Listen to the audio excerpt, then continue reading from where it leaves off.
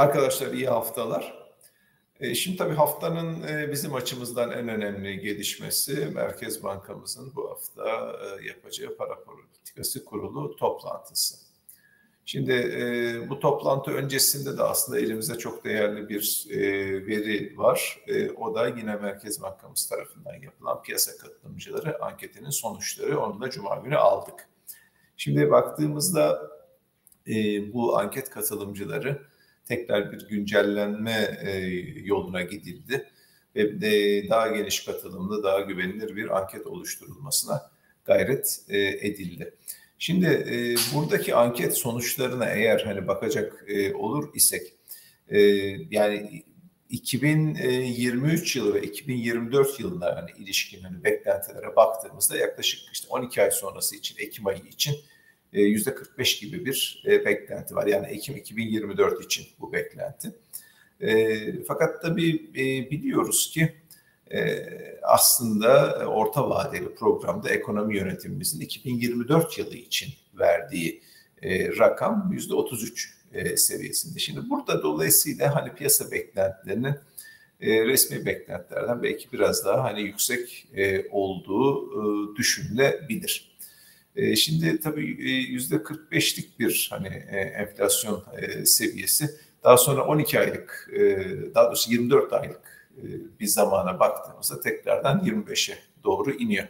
Gerçi ben açıkçası bu rakamların biraz daha düşük gerçekleşebileceğini düşünüyorum. Ancak tabii bunun için para politikasının çok doğru şekilde şekillendirilmesi ve mutlaka hani kurala bağlı ısrarcı şekilde devam ediyor olması gerekecektir. Şimdi e, buna da istinaden tabii bu haftaki e, acaba para politikası kurulu toplantısında ne sonuç alınacak ya da ne e, karar verilecek diye baktığımızda şimdi burasıyla da ilgili yani bazı beklentiler var. Şimdi baktığımızda hani ilk etapta beklentilerin e, yani faizlerin bir e, 500 bas puan artışla %35'e gelmesi bekleniyordu. İşte son hafta belki bunun biraz daha düşük olabileceği yönünde beklentiler hakim olmuştu. Şimdi tekrardan hani beklenti anketine baktığımızda e, yaklaşık %33-34 aralığında bir ortalamada e, bunun gerçekleştiğini görüyoruz ki e, bu demektir ki aslında hani yani 250 bas puan bekleyenlerle 500 bas puan faiz artışı bekleyenler arasında yani çok farklı olmayan bir dağılım var. Biraz daha normal bir e, dağılım var e, gibi e, görülebilir. Şimdi burada tabii birkaç alternatifi var Merkez Bankası'nın. Hani ya daha düşük oranda yani 250 bas puan civarında hani artışlar yaparak hani bunu daha uzun süre yayabilir veyahut hani sene sonundan evvel e, faiz artışını bitirecek şekilde şimdi 500 bas puan daha sonra hani daha azalan trendde devam edecek gibi e, düşünebiliriz. Şimdi dolayısıyla hani e, bu durum aslında e, yani enflasyonla mücadeledeki e, genel e, tavrı da hani ortaya e, koyacaktır e, diye e, düşünmemiz e, gerekiyor.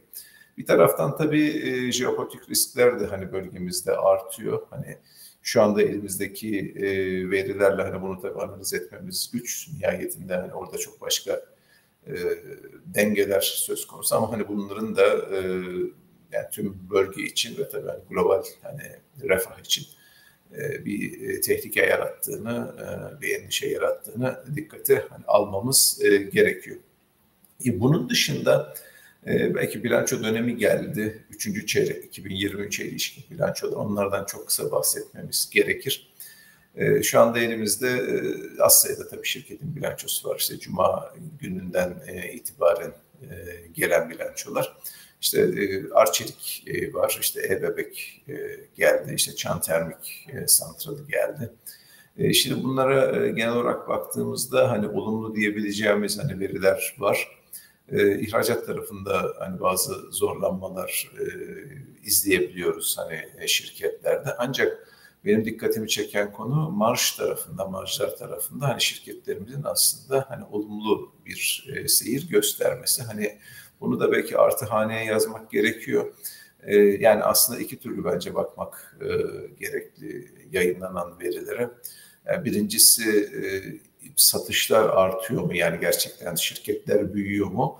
E, büyürken de acaba bir marş kaybına uğradılar mı diye bakmak lazım. Şimdi benim görebildiğim kadarıyla evet yani ihracat tarafında bazı zorluklar var. Hani içeride de e, zorluklar olan sektörler var ama hani şimdilik bir e, marş kaybıyla çok da fazla, çok majör bir marş kaybıyla e, karşılaşmadık. Dolayısıyla hani eğer bu trend devam ederse hani e, genel olarak 2023 bilançolarını da hani olumlu bir seyirle e, kapatmamız, dördüncü çeyreği de dahil ederek bunu söylüyorum, e, mümkün olur.